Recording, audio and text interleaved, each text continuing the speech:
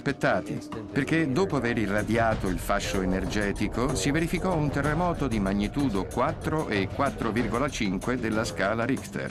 Eravamo stupefatti dall'apparente conseguenzialità dei due eventi. Eravamo in una zona fortemente soggetta ai terremoti, situata nei pressi dell'asse di faglia del Pacifico nord-occidentale. Era bastato irradiare le onde ELF per scatenare un terremoto. Il dottor Agnew ci mostra come può aver generato il terremoto.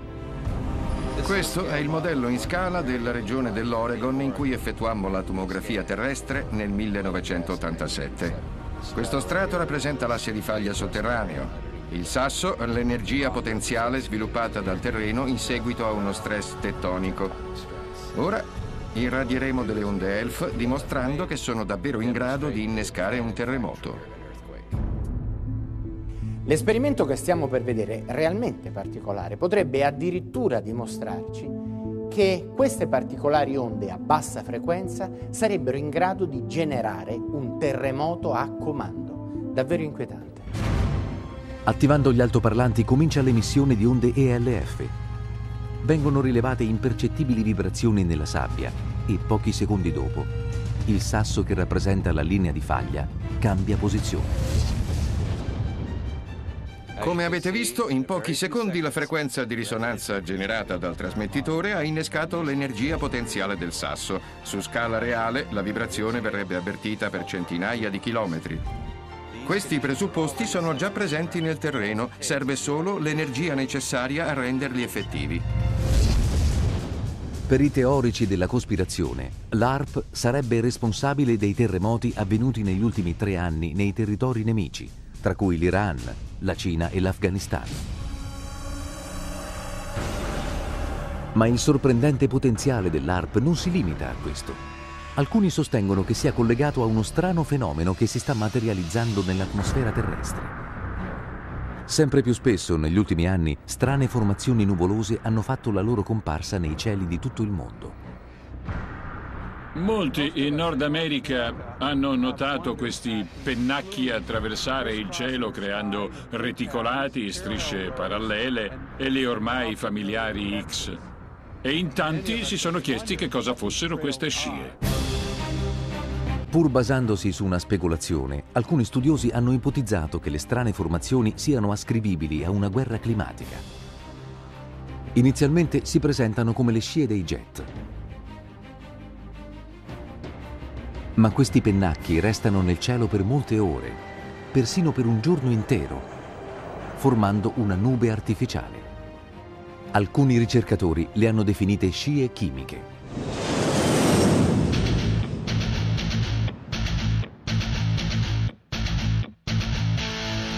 Un aereo che vola e lascia una scia.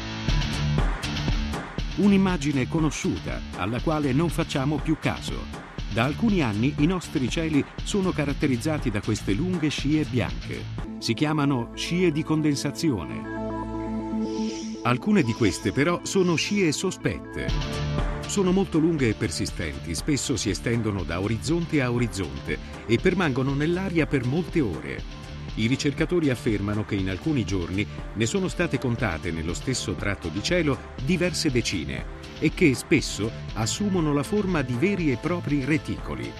Queste scie sarebbero state avvistate anche fuori dalle rotte civili, alcune in spazi aerei proibiti, anche a quote inferiori al traffico aereo standard. Ma quali sono le condizioni in cui un aereo rilascia una scia di condensazione?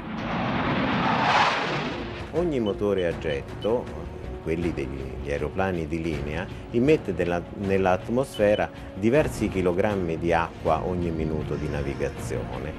E, e quest'acqua si condensa sulle particelle ionizzate che provengono dai motori stessi e in particolari condizioni appunto di temperatura, eh, pressione e umidità si ha eh, il congelamento di questa umidità che appunto appare bianca. Ogni aeroplano che si trova in quelle condizioni produce scie di condensazione e a me stesso più volte è capitato di vederne in virata quando guardavo dietro.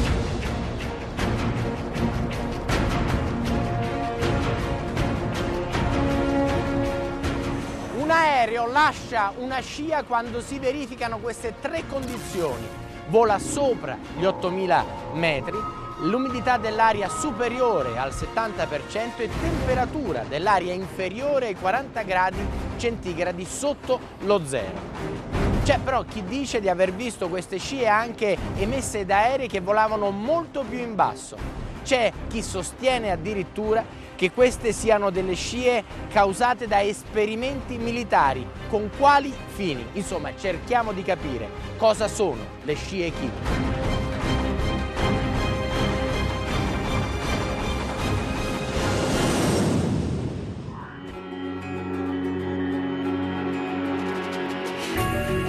Ricercatori e chimici indipendenti sostengono che le scie chimiche contengano sostanze quali sali di bario, ossido di alluminio, torio e altri metalli pesanti. Nessun ente governativo, civile o militare ha mai confermato l'esistenza delle chemtrails, dichiarando l'eventuale scopo e la durata di tali esperimenti. Per questo molti ricercatori hanno iniziato a indagare e a raccogliere indizi e informazioni utili per comprendere questo fenomeno. Secondo queste teorie indipendenti le scie sarebbero frutto di un irroramento fatto ad alta quota da parte di aerei, probabilmente militari. Ma a quale scopo? La storia delle scie chimiche è cominciata pochi anni fa. Vediamo come.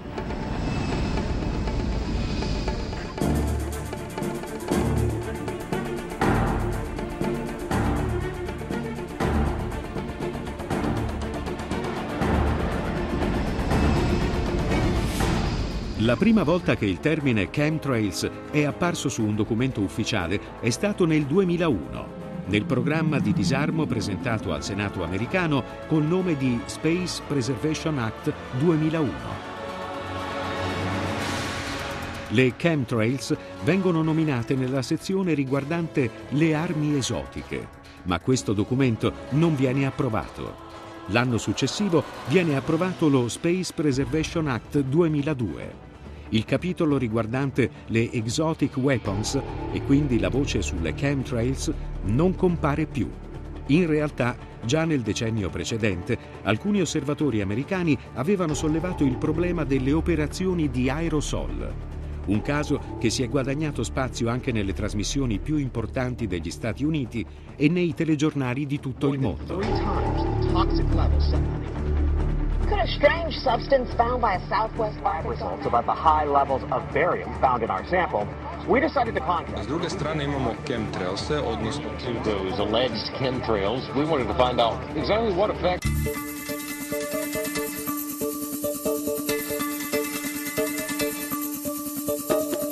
Ma della questione delle scie chimiche non se ne sono occupati solamente degli appassionati o persone che scrivono su internet. Ci sono state delle interrogazioni parlamentari a livello europeo, se ne è parlato anche in Italia, ma non vogliamo entrare in questo mondo né in questi particolari, vogliamo solo sottolineare che il fatto è più serio di quanto possa sembrare ad un primo esame. Le scie degli aerei che si osservavano nei decenni scorsi si dissolvevano in pochi minuti ed erano corte e strette. Le scie di oggi invece sono molto diverse, larghe, persistenti anche per ore, spesso si espandono trasformandosi in uno strato biancastro. L'aumento vertiginoso del traffico aereo ha ovviamente riempito il cielo di strisce bianche come mai negli anni passati ma le scie presenti nel cielo sono talmente diverse le une dalle altre che è possibile suddividerle per tipologia. Lunghe, corte, che si espandono, che non si espandono, a trattini, a fusillo, a filamenti, poco persistenti, molto persistenti. Alcune scie si dissolvono in alcuni tratti ma permangono in altri. Altre hanno un aspetto fibroso, mentre altre ancora sembra che contengano al loro interno scie di consistenza diversa. Inoltre, gli strati nuvolosi generati da queste scie assumono la forma di nuvole pettinate, oppure formano degli aloni colorati dalle forme indeterminate.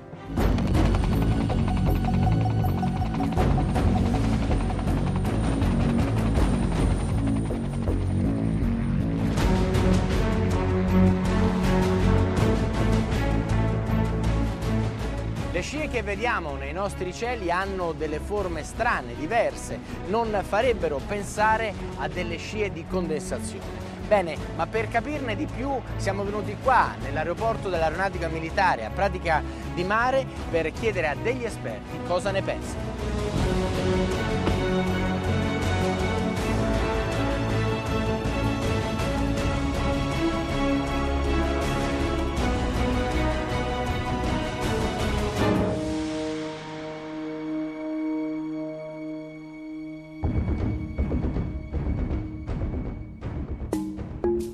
D'estate è più difficile che esistano scie persistenti a quote eh, più basse perché in quelle condizioni di temperatura e di umidità la scia si forma e si dissolve immediatamente. D'inverno le scie tendono a perdurare di più perché essendo generalmente l'atmosfera più fredda le condizioni di, di, condensazione sono più frequenti. Qui si vede la genesi di una scia, la sua creazione. Vicino ai motori ancora i gas sono sufficientemente caldi da non avere la condensazione, successivamente avviene la condensazione e insieme alla condensazione c'è l'espansione per diffusione e per turbolenza, infatti la scia da lineare diventa eh, gassosa. Ecco, in questa immagine ripresa dallo shuttle si vedono alcune scie stratosferiche, e cioè che sono state generate da velivoli che volavano a quote al di sopra dei 12 km di altezza, dove i venti sono molto più dolci, sono molto più laminari,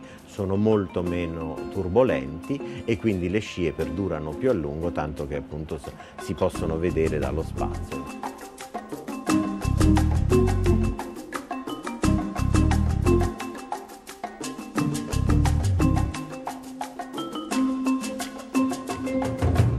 Scie quindi potrebbero essere causate o meno da eventi atmosferici, ma secondo alcuni invece sarebbero frutto di esperimenti militari, esperimenti di ultima generazione in grado di modificare il clima per fini bellici.